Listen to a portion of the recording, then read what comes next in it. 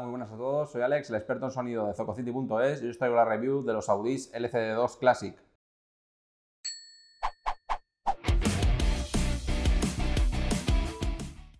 En cuanto a mi historia personal con Audis, siempre he sido un gran fan de la marca. He tenido en el pasado varios modelos de la marca, como pueden ser el LCD2 y el LCD3, ambos en versión Phasor, y el LCD XT, que es el cerrado de la marca y al final he acabado con estos LCD2 Classic, que son los que ahora mismo tengo en casa. Eh, los compagino también con el Sony MDR Z1R, que es el cerrado de Sony.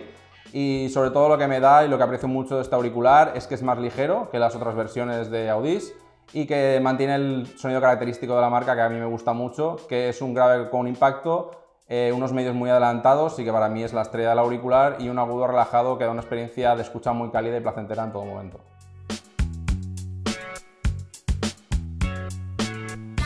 Como veis, aquí tendríamos los LCD2 Classic más de cerca. Su diseño es un diseño muy industrial, muy robusto. La propia carcasa del auricular está hecha en un material que se llama nylon con cristal insuflado. Eh, al tacto es una especie de híbrido entre lo que sería plástico y metal. La verdad es que queda todo en un conjunto bastante robusto. Y lo que sería la conexión, como veis aquí abajo, es XLR de 4 pines eh, lleva un cable básicamente que va conectado a estas tomas y lleva un sistema de retención que apretando un botón se suelta. Así que vamos a incluso poder comprarle cables eh, que queramos por eh, si queremos un cable balanceado, un cable de más extensión, se puede reemplazar fácilmente. Y lo que sería la parte superior, como veis, tenemos una diadema plana que distribuye muy bien el peso, también fabricada en piel. Tendríamos aquí a los extremos lo que sería el mecanismo de ajuste de la diadema que va por pasos, como veis. Y también tendríamos lo que serían las propias almohadillas eh, muy mullidas del auricular. Tenemos unas almohadillas que están hechas también en piel, eh, que llevan un sistema de espuma con memoria. Así que si hacemos así, luego vuelven incluso a su sitio.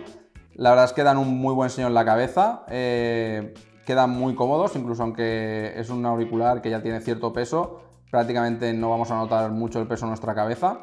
Así que como veis en general tenemos un sistema eh, muy bien construido, bastante cómodo y muy bien terminado en casi todos los detalles.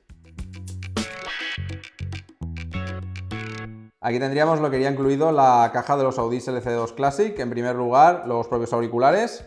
Tendríamos también su cable de conexión. Eh, como veis va con XLR 4 pines a las copas y un sistema de retención. Eh, apretando este botón liberaríamos el mecanismo.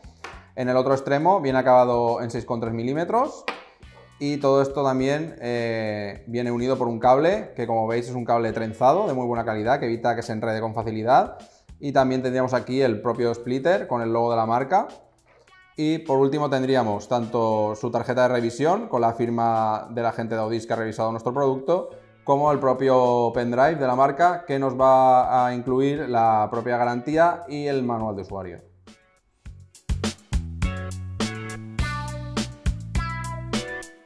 En cuanto a las especificaciones técnicas, estos LC2 Classic nos encontramos ante un auricular magnetoplanar de diseño abierto y que nos va a dar 70 ohmios de impedancia y 101 decibelios de sensibilidad. Esto no va a ser fácilmente movible desde cualquier reproductor, vamos a tener que utilizar un reproductor que nos dé al menos unos 500 mW de potencia. Lo podríamos mover eh, con un M11, un M11 Pro o incluso un M15. En el caso del M11 y el M11 Pro siempre por salida balanceada. Y en cuanto a amplificadores estacionarios, también necesitaríamos evidentemente un amplificador que pase de los 500 milivatios a ser posible. Como recomendaciones, eh, buscaros un amplificador potente como un Kajin IHA6 por ejemplo, sobre todo para sacarle todo el jugo y todo el sonido que estos LCD2 nos pueden ofrecer.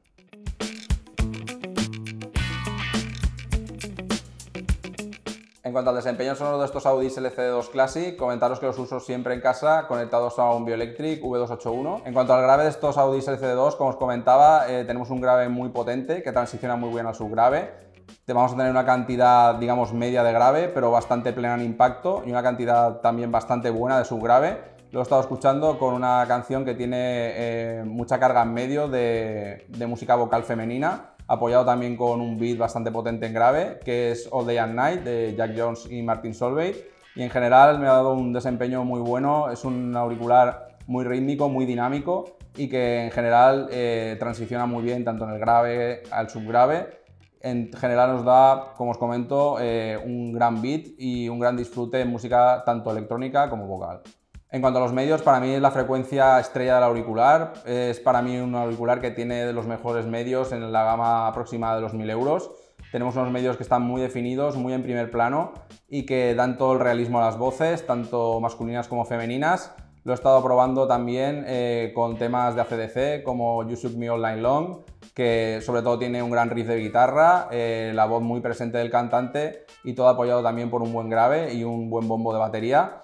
También eh, lo he probado con una canción que tiene también mucha carga de medios, que es Nine Crimes de Demin Rice, que sobre todo tiene voces masculinas, femeninas, todo ya apoyado por un piano que está más en segundo plano y todo ello, como os comento, nos da un muy buen detalle en medios. Siempre el instrumental que se mueve en estas frecuencias está muy detallado y todo ello con mucha dinámica y también un gran ritmo. En cuanto a los agudos del auricular, vamos a tener unos agudos que son la frecuencia más relajada del auricular. Están bastante bien definidos, pero la cantidad de agudos moderada siempre eh, lo he probado con canciones que tienen una carga en agudos grande, eh, como por ejemplo Round Table Rival de Lindsey Stirling, que tiene mucha carga de instrumental, sobre todo violín. Y en general, como os comento, la definición es buena, pero es moderada en todo momento y va a caer muy poco en sibilancias, con lo cual nos va a dar una experiencia que es buena en agudos y a la vez muy placentera de escuchar durante muchas horas. En cuanto a la escena de estos LCD2 Classic, comentaros que es una escena que en términos generales podríamos catalogar como moderada. Vamos a tener una muy buena escena en lo que a rango de izquierda y derecha se refiere, es decir, en cuanto a lo ancho de la propia escena, pero eh, va a ser moderado en cuanto a la parte frontal y trasera de la propia escena del audio. Así que por lo general en cualquier tipo de música va a rendir bien, va a posicionar bien, vamos a tener una escena bastante grande Sí que es verdad que en los géneros eh, como clásica eh, os recomendaría algún auricular que tenga un poco más de escena, pero si escuchamos eh, sobre todo música moderna y música dinámica, no la vamos a echar nunca en falta y nos va a posicionar perfectamente cualquier tipo de instrumento con mucho detalle.